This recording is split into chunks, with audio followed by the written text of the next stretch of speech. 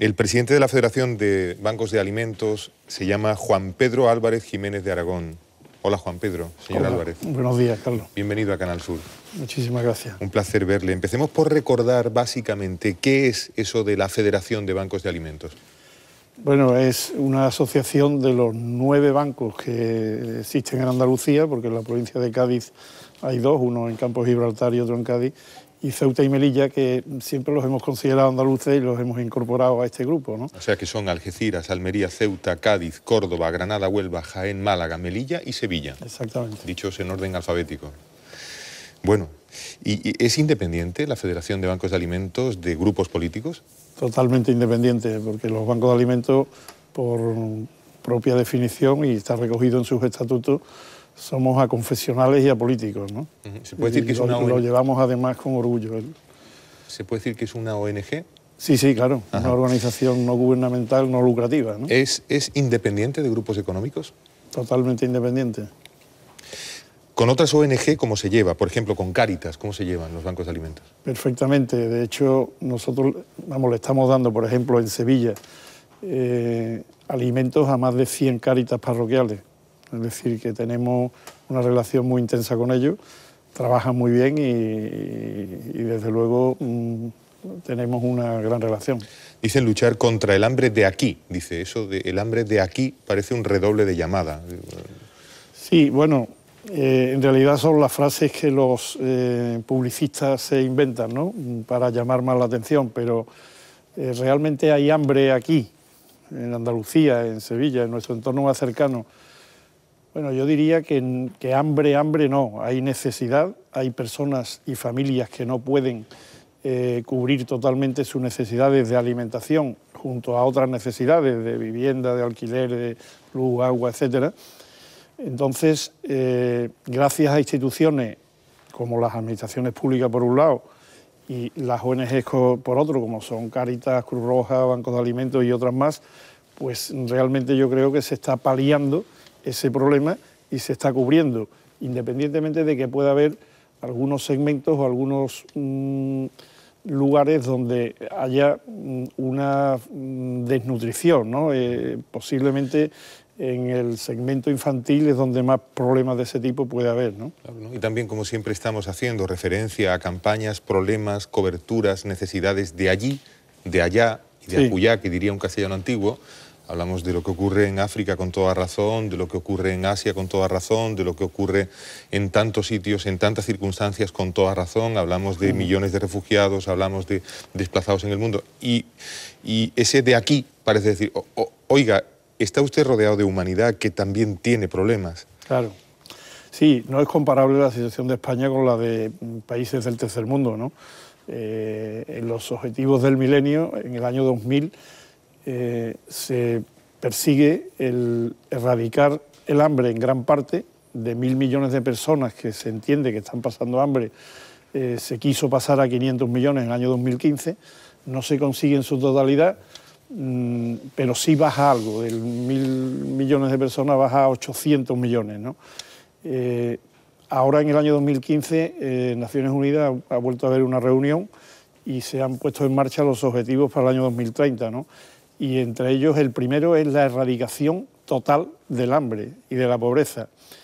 Mm, Eso, bueno, es una utopía casi, ¿no? Es casi imposible, pero bueno, es bueno que los países se lo planteen como algo, como una meta a la que deben de aspirar, ¿no? Usted que tenemos un papa muy impertinente que ahora le ha dado por decir allí en África que, que en la pobreza está el origen del terrorismo. ¿Cómo lo ha dicho Pilar? Que no me acuerdo. Que la Ah, pobreza es la causa que del la terrorismo. Que la pobreza está en la Francisco. causa, ¿no? Dice, el, el terrorismo y la violencia que se alimentan de la frustración y se alimentan de, de la incomprensión, eh, están causadas o tienen su fundamento en, en- en- en- en la pobreza. Sí, puede ser, la verdad es que es muy difícil de, de decir, ¿no? Porque, porque yo creo que puede haber muchas causas en el terrorismo, ¿no?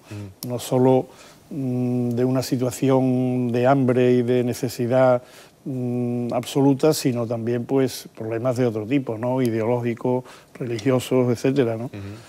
Pero sí es verdad que la, la desesperación por el hambre, Eso- dice, ¿eh? la desesperación. desesperación por el hambre, puede llevar mm, a situaciones impensadas, ¿no? La reacción de la gente muchas veces, exactamente, son frustraciones y puede haber reacciones imprevisibles, ¿no? De cualquier tipo, ¿no? Cualquier persona en Bamako puede ver lo que ocurre en Occidente y decir, ¿por qué mi madre tuvo la mala idea de parirme en Bamako y no en Sevilla o no en Bruselas? Y, esto puede llevar a... Esto puede porque yo creo que hay muchas personas que están en una, situación de vulnerabilidad total mm, sin, sin, culpa ninguna, ¿no? Es decir, la vida los ha golpeado y los ha puesto en esa situación y yo muchas veces pienso si no tienen derecho a exigir mm, lo que sea, a protestar, a insultar, es decir, mm, es muy complicado verse en esa situación, pienso yo. ¿eh? Y saber que se es la mayoría del planeta en esa situación, que uno no forma parte de ese club agraciado de pocos países súper desarrollados, que lo tienen todo, cuando uno no tiene ni siquiera asfalto para que su hijo vaya caminando a la escuela, porque tampoco tiene escuela.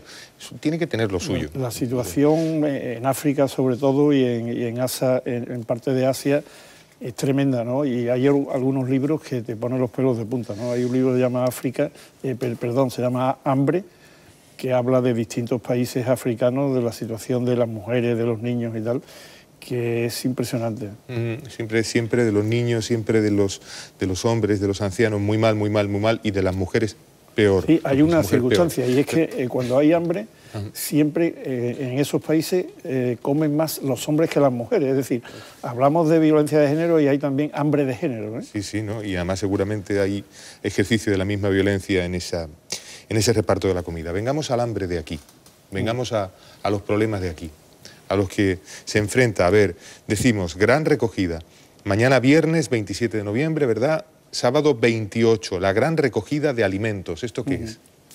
Bueno, pues es, eh, en estos momentos se convierte en un símbolo de los bancos de alimentos, ¿no? porque llevamos cuatro años haciéndolo en toda España, en, Sevilla concretamente cinco años, y en Andalucía cuatro también, es el cuarto, y mm, se ha convertido en el hecho mm, más importante mm, que se produce eh, a lo largo de todo el año en Andalucía en materia de solidaridad y de participación de voluntarios, ¿no? Van a participar 29.000 voluntarios en toda Andalucía en estos dos días y los días posteriores de la clasificación. ¿no? Bueno, pues eh, es algo muy importante porque supone una sensibilización, una sensibilización eh, muy alta de una gran parte de la población, de la mayor parte de la población. Cuando uno proyecta una gran recogida es porque ya lleva tiempo eh, pidiendo a quienes donan que hagan un, gran preparado ¿no? para la recogida, que haya una, una gran entrega. Sí, bueno, de hecho mm, es curioso porque si vemos, eh, prácticamente estamos hoy día en todos los supermercados que existen en las ciudades y en los pueblos más importantes, solo en pueblos pequeños donde no hay eh, tiendas significativas, pues eh, no se hace, pero en la mayoría sí, ¿no? Estamos en todos, entonces si comparas lo que se recoge en unas zonas u otras de diferente nivel social, no hay grandes diferencias. Es más, muchas veces se recoge más en, unas zonas de nivel medio, medio bajo que en zonas de nivel alto. A lo mejor hay una diferencia humana que no se ve. Mm, claro, exactamente. Eh, la media de las personas que acuden a dar alimentos, porque claro, no toda la población acude ni puede, eh, hay niños, hay personas mayores, enfermos, mm, pero calculamos mm, que los que acuden en esos dos días al supermercado están dando una media de unos 5 kilos por persona, ¿no? Teniendo en cuenta que hay zonas en las que hay personas que no solamente no pueden dar, sino que deberían de recibir, y de hecho reciben, y que si pueden dan un kilo, porque la solidaridad, la solidaridad llega a extremos de que el que tiene poco también da, también colabora, también mm, eh, quiere ayudar a los que están a su alrededor pasando lo peor que ellos todavía, ¿no? Mm, Han hablado ustedes Teniendo en cuenta que hay unos que dan un kilo, dos kilos, pues hay muchos que dan 10 o 15 o 20 o un carro entero, ¿no? Han dicho, ustedes ha dicho usted, eh, el, objetivo de 4 millones de kilos en total en, esta gran recogida, 4 millones de kilos para repartir, ¿no? Y dice usted que en el reparto esperan llegar a lo que se alcanzó en 2007, antes de que empezara a decrecer. Sí, bueno, vamos a ver, es que se produce por primera vez en el año 2014 una inflexión eh, en la situación por la que hemos atravesado durante toda esta crisis. Eh, por primera vez en el año 2014 crecen más los kilos que repartimos que el incremento de los beneficiarios, de los que reciben los ah, alimentos. Ah, Eso no se producía desde el año 2007. En el año 2007 estábamos repartiendo unos 105, 110 kilos por persona y año. Y eso ha ido bajando en los años siguientes, pero por primera vez desde el 2008, en 2014 repartimos más por persona y año que en 2013. ¿eh? No llegamos todavía este a lo que repartíamos antes de la crisis, pero eso que se está confirmando en el año 2015 y que supone una puerta que se abre a la esperanza, mm, pues eh, va a suponer de que en el 2015 volvamos a incrementar el número de kilos por persona y año que repartimos y esperamos que en 2016 podamos volver a la situación del 2008 aproximadamente. Los donantes son siempre entidades, personas, entidades privadas y personas particulares. Sí, bueno, personas particulares en esta gran recogida de los supermercados, pero también paralelamente hay empresas e instituciones que nos hacen llegar alimentos en, cantidades significativas e importantes. ¿Instituciones públicas también? Bueno, instituciones públicas nos ayudan eh, a lo largo del año eh, de otra manera, ¿no? en este lo decía que con todo, que con todo la, respuesta a ese 39% de población andaluza, 39% de población andaluza en riesgo de exclusión, debe ser respuesta pública, ¿no le parece? Sí, bueno, y hay una respuesta pública y las ONGs que nos dedicamos un poco a, esto, pues eh, complementamos esa labor, que lógicamente en tiempos de crisis es mucho mayor que, en épocas de bonanza, ¿no? O de mejor situación económica, ¿no? Ha mencionado usted a los voluntarios, ¿son la gran clave? ¿Los voluntarios son la gran clave de todo esto? Por supuesto. Lo, ¿Qué hay que hacer para ser voluntario del Banco de Alimentos? Simplemente proponérselo, ¿no? Bueno, ¿y...? Y llamar, a entrar a la página web o llamar por teléfono. hay, hay, una, hay una bancos de alimentos de Andalucía.org, por ejemplo, ahí se entra o se coloca en un buscador Federación de Bancos de Alimentos de Andalucía, Ceuta y Melilla y aparece posibilidad de, de entrar. ahora mismo eh, tenemos cubierto, digamos, todas las necesidades con voluntarios, desde hace ya más de 15 días, ¿no? Es decir, eh, tenemos ya una base de datos a lo largo de estos cuatro años que nos ha hecho pues, eh, que eso no sea un problema, porque la gente se vuelca, está claro. ¿eh? Quiero que hablen nuestros compañeros en la mesa, pero vamos a repasar, eh, por favor, el dato que usted ya ha puesto sobre la mesa a superar, el dato del año pasado. y corríjame, por favor, se distribuyeron 33.900 toneladas de alimentos entre casi 460.000 personas a través de 2.200 centros. Exacto. Todo esto este año se espera que sea en cifras mayores. Sí, esperamos que el año 2015 se superen todas esas cifras, bueno, todas. las, las, las 460.000 personas posiblemente no se incrementen significativamente, sino que se incrementen levemente o se mantengan, lo cual será positivo. Y que se, incremente, sí, la cantidad de alimentos que se le da a cada una. Exactamente. ¿no? Los 2.200 centros siguen siendo los mismos. Sí, más o menos. Pueden entrar 10 centros más, 20, ¿no? Según... En fin, ¿cuánto tiempo lleva usted en esto, Juan Pedro? 10 años. ¿Y por qué hace usted esto? Bueno... Mm, Vamos a ver, yo mm, tuve anteriormente 37 años de trabajo profesional mm, y por ese trabajo profesional me considero un privilegiado, es decir, yo pensaba que había tenido mucha suerte en la vida, tanto en mi situación personal y familiar como en la profesional. ¿no? Eh, y, bueno, cuando termina mi etapa profesional, pues pienso que debo hacer algo por los demás, por devolver a la sociedad parte de lo que me ha ido dando, por ayudar a los que estén en mi entorno y que lo necesiten más. Y me dan la oportunidad de eh, entrar como voluntario en el Banco de Alimentos en el año 2005. Entro y, bueno, mm, antes me consideraba un privilegiado y realmente no sabía que cuando soy un privilegiado de verdad es ahora. ¿eh? esos 10 años de la, esta eh, tercera etapa, digamos, de mi vida, pues han sido quizás los más eh, satisfactorios para mí, ¿no? desde el punto de vista personal. ¿no? Eh, los voluntarios mm, yo creo que cobramos el sueldo más alto que puede tener una persona, porque cobramos en sonrisas y en palabras amables, ¿no? y eso es algo muy importante. La fraternidad compensa y compensa mucho por lo que, por lo que veo. ¿Puedo preguntar? Por favor. te has quedado ahí en por un... Favor. Porque es verdad que estaba, era muy emocionante no lo quería que romper el silencio. No, no, lo estaba haciendo de manera muy emocionante el señor Álvarez.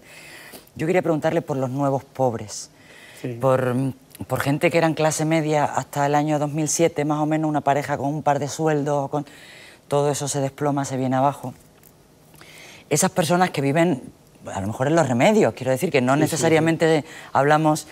Eh, ¿Cómo? Remedios, barrio de Sevilla, conceptuado, Sí, perdón, es verdad, efectivamente, por, las personas que nos ven fuera de Sevilla, es verdad que, Andalucía es mucho más grande que Sevilla, afortunadamente. por las personas que nos ven dentro de Andalucía, que es inabarcable, eso. eso bueno, pues eh, eh, quiero decir, este, estas personas que se les debe hacer muy dura, probablemente muy dura, la la situación de pobreza sobrevenida y de eh, dónde acuden o cómo, quiero decir, para paliar por lo menos el hambre física o la necesidad física de tener en la despensa o en el frigorífico mm, comida suficiente para ellos y para sus hijos probablemente. ¿Qué tienen que hacer esta gente? Sí, pues estas personas han acudido mm, o a una carita o a otro centro pues si son de otra religión, hay también eh, iglesias evangélicas y tal, que también los han podido atender en este sentido, o a los comedores sociales. Los comedores sociales, mm, yo creo que a estas personas, a este perfil de personas,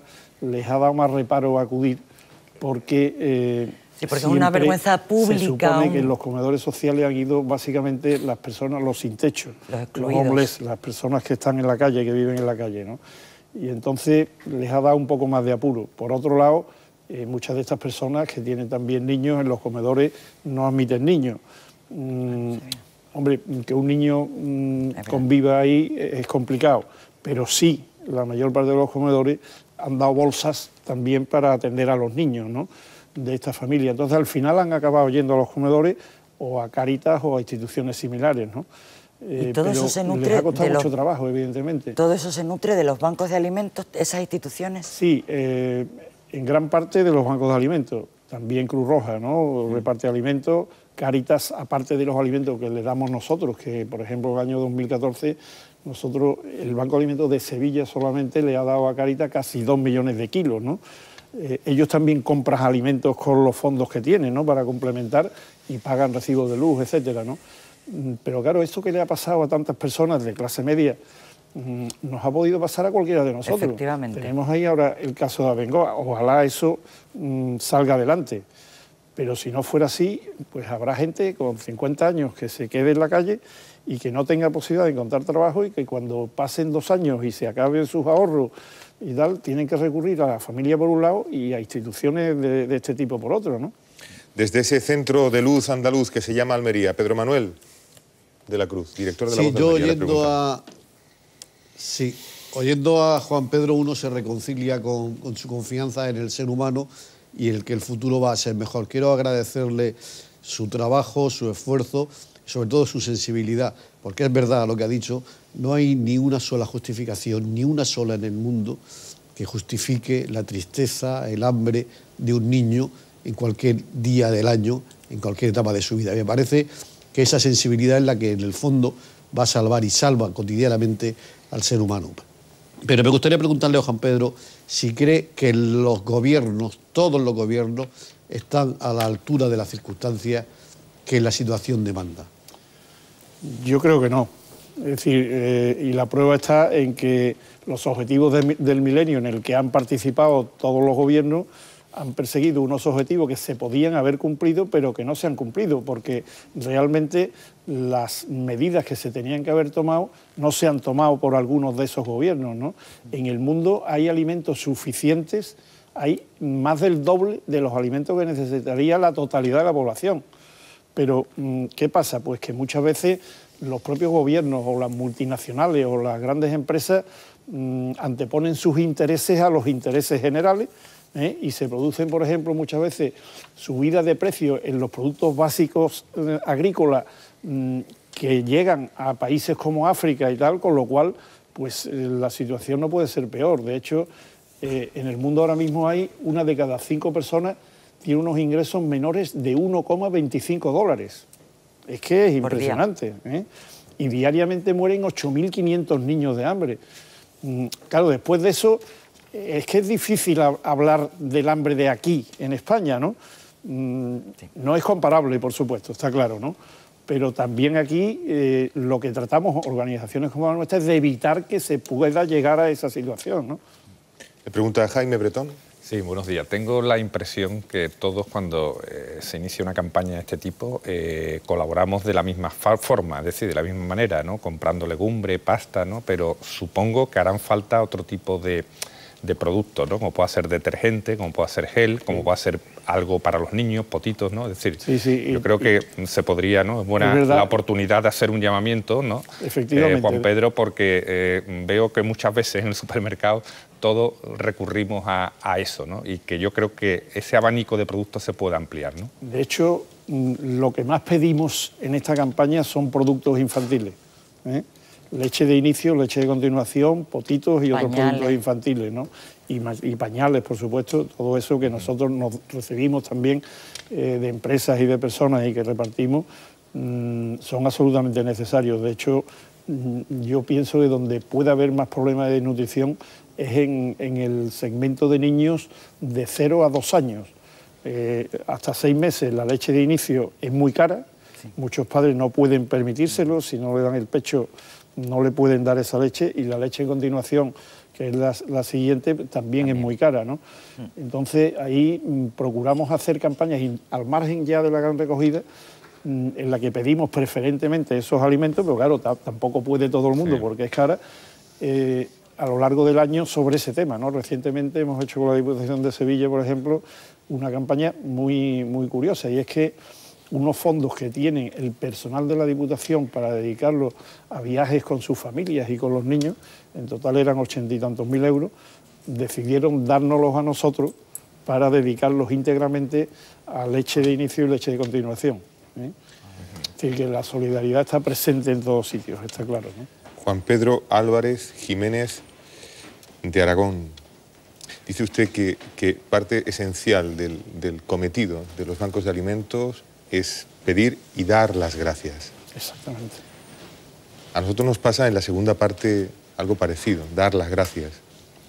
Usted me recuerda al poeta, yo que creí que la luz era mía, precipitado en la sombra me veo. Seguro muchos telespectadores pueden sentirse compelidos, como un servidor, a buscar su acceso a la alegría. Esa de prestar servicio a los demás, ¿no? que lo necesitan.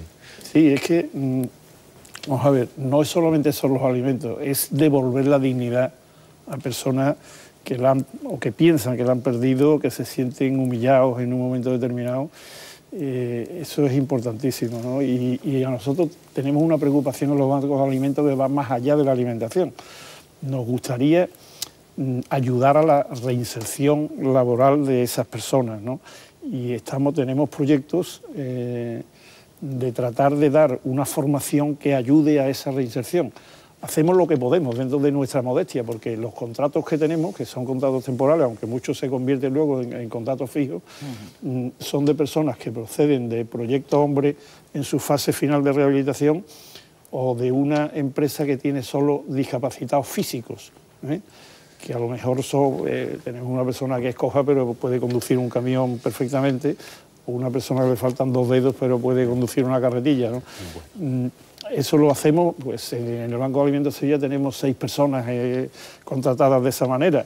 Mm, son pocos, pero bueno, hacemos lo que podemos y estamos muy preocupados por esa segunda parte que sería tratar de hacer llegar al mercado de trabajo a estas personas. Juan Pedro Álvarez, muchísimas gracias por estar esta mañana en Canal Sur Televisión. Nada, para mí ha sido un placer y además un gusto estar con ustedes. Buenos días. Desde casi ya tienen en canalsur.es la, la entrevista, merece la pena repasarla. Vamos a dar las gracias también a nuestros contertulios esta mañana. Pedro Manuel de la Cruz, Almería, muchísimas gracias por la aportación desde allí. Ha sido un placer. ha sido un placer. Desde la luz almeriense siempre, Pedro Manuel. Bueno, hemos dicho que, que gracias, por supuesto, Jaime Bretón. Gracias a ti. Gracias, Pilar González. Nos vamos hoy con los ojos brillantes. ¿eh? Gracias por sí. Además, has tenido ahí una asistencia, una asistencia